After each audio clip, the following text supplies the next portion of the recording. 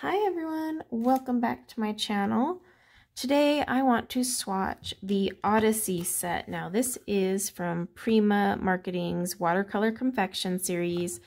As you guys know, I'm trying to collect every single one because they're just so cute and quirky and I've got problems and I have to have it if I know it's there. um, I have yet to come across a duplicate color, so I actually think they really are doing all unique. But this was gifted to me by the wonderful Kat. Um, I had left a message in my haul, but Kat, if you can email me at colorfullyoptimistic at gmail.com, I'd love to thank you for these. Um, these were just, oh, I was blown away when I got this.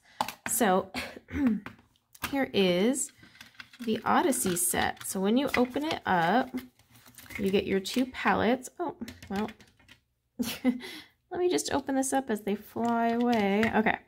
These do move around um, a titch. I just need to tighten these back up. So I've already um, taken all the wrappers off for you guys because that is the biggest pain. So this card here, it's so weird with Prima marketing. Okay, some of their cards have pigment information. Some of them don't. That's the one gripe I have. I have to go online and see if they share their pigment info on their website because I am, well, honestly, I want to know uh, what the pigments are. It's pretty reasonable, right? so what we're going to do is first I'm going to take my Distress Ink sprayer. Oops. Let's tighten that a little. This is not by any means a clean process. Look at that mess. Listen, if your watercolor palette is neat, you're not using it enough. so, fun fact. All right, we're going to move that off to the side for a second. What I'm going to do real quick is prep this bad boy. I'm going to take my cheap, no-name pigment liner. Pigment liner is a pigment ink that is waterproof. Never, ever, ever do this with a normal, like, marker. It needs to either be an alcohol marker or a pigment liner and always look for waterproof. I am going to draw a line on all of these because I want to track and test the opacity.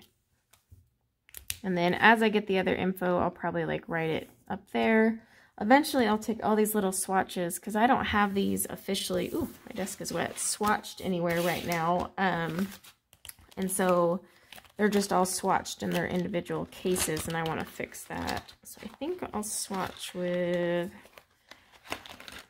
I like to swatch with big brushes. Big, juicy ones. I have a number six Transon round. Really cheap. Um, I shouldn't... Cheap is a naughty word, uh, affordable watercolor brush. Um, and then I'm using my little infamous paint puck that you guys know I'm obsessed with. All right, so let's hit up Tokyo. Oh my gosh, these things are so wiggly squiggly. I need to put some over here and add some water to it. There we go. See, I'm just adding some water. I don't have my media mat down, so oh my gosh. Desk, don't hate me. All right, let's see. Tokyo. Rome. For some reason, I thought the Odyssey set would be sea-themed. But um, instead, it's like a travel theme, which is cool too.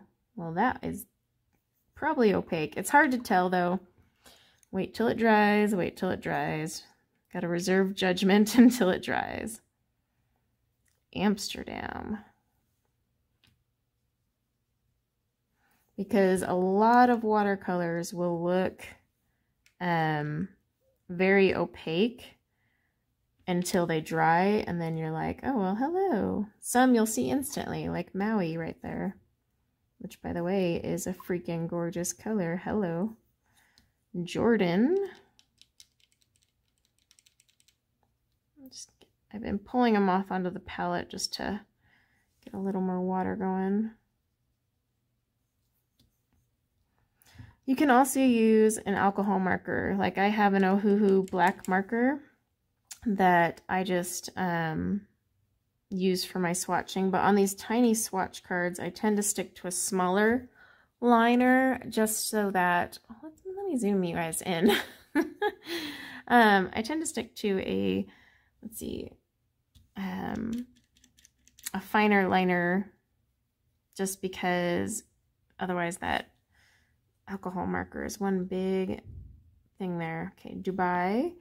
Looks a little opaque, but I have a solid feeling once that bad boy dries, it's going to be a different Jamaica. Let's get a good amount of water there too.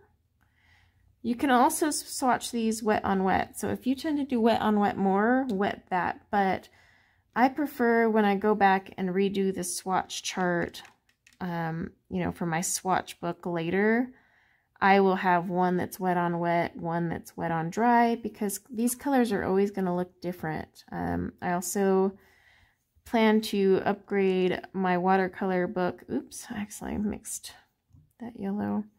Um, I plan to upgrade my watercolor book to include salt effects, so I'll be swatching with salt. I'm not really surprised that Inka is pretty opaque. I really want to know if they have their info online about the pigments. I just want to know like how many of these are a mix. Obviously there's some mixes in here, but I mean, what pigment is that? You know, what pigment is that yellow?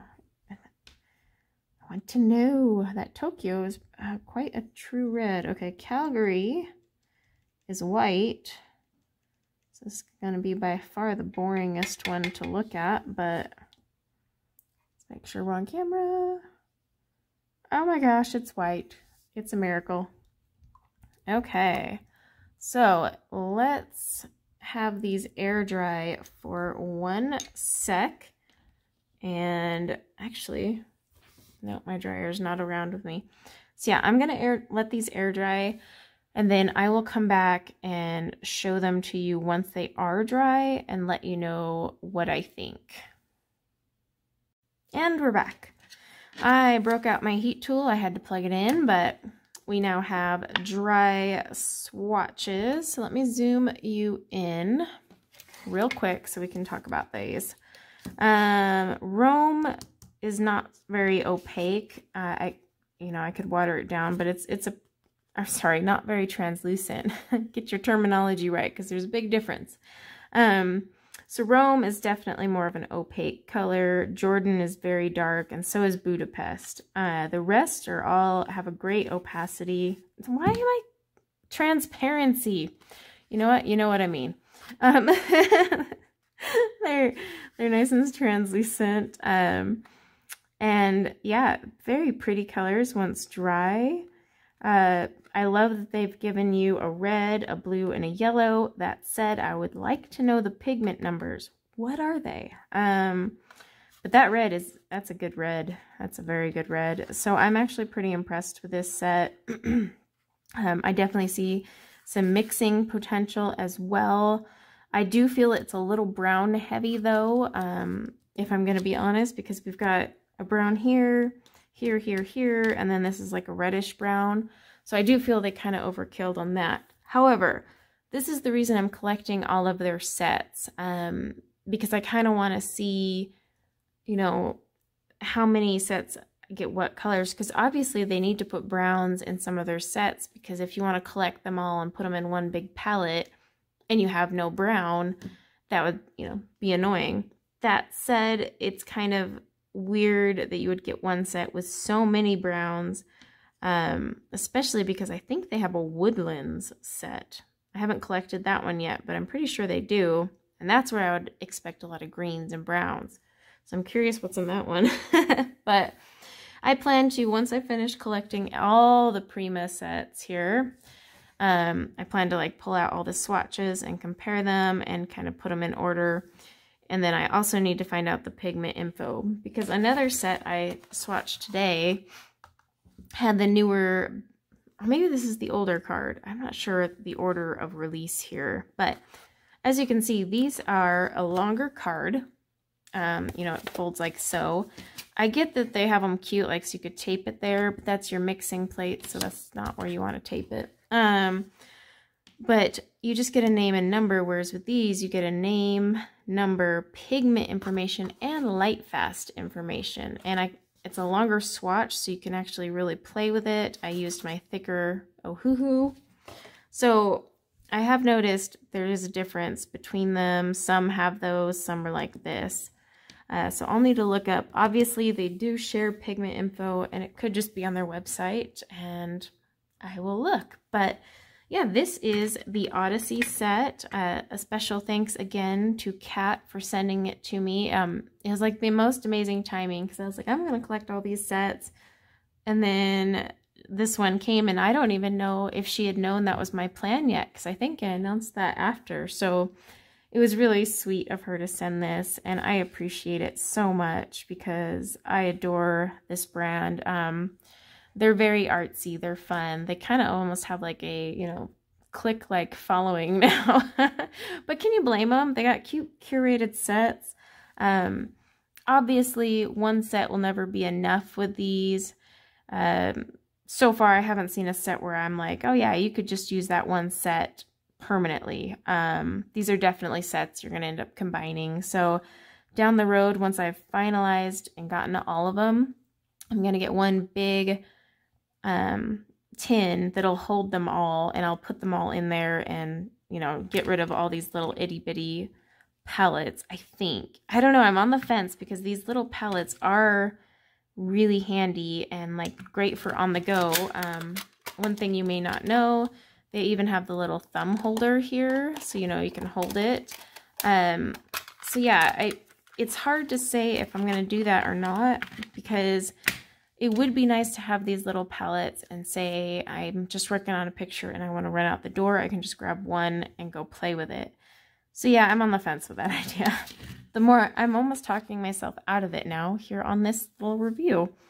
But yeah, these are the Odyssey colors. Very pretty. I'm loving that purple. I do love that you got a lot of primary colors in here. Um, still got a white. That green is very pretty and it can obviously be turned into something else as well.